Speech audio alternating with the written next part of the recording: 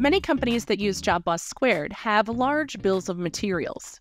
And even if your bill of materials wouldn't be considered necessarily large, you can still save time by importing that bill of materials instead of typing in all of the materials needed for a given project.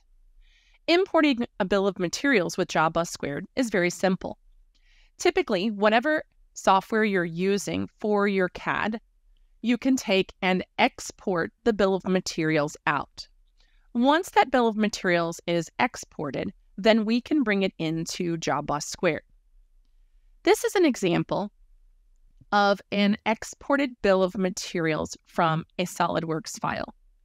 You can see here that it has things like the item, the part, the description, so on and so forth.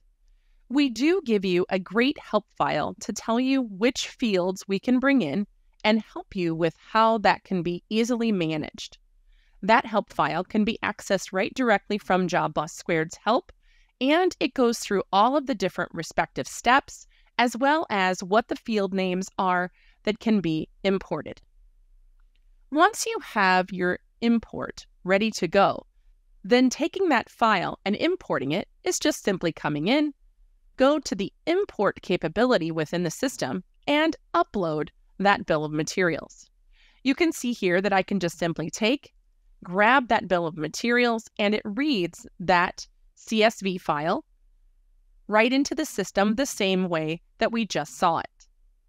If it is a multi level bill of material, you can see that when you export from your CAD software, you can bring it in with the bill of material levels defined as item numbers.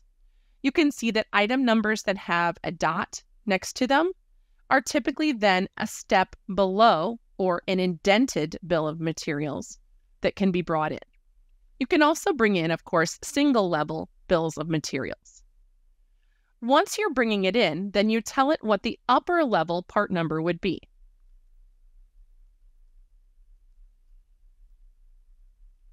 And then you can choose to add the part numbers to the system or not. I'm going to go ahead now and upload that bill of materials. Now you'll be able to see that if I come into that upper level part number, in the materials section, everything has been brought in.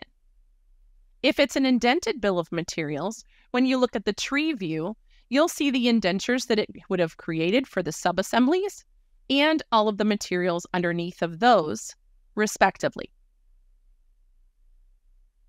I can, of course, expand this so that I can see all of my full bill of materials listed in JobBoss Squared, and it was extremely easy and quick to create.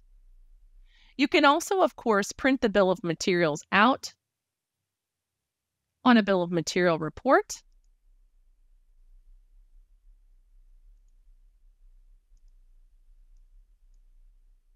And this will give you the information, of course, when you create an order for these items to go into purchasing or come from inventory or be made, depending upon what type of item they are on the bill of materials.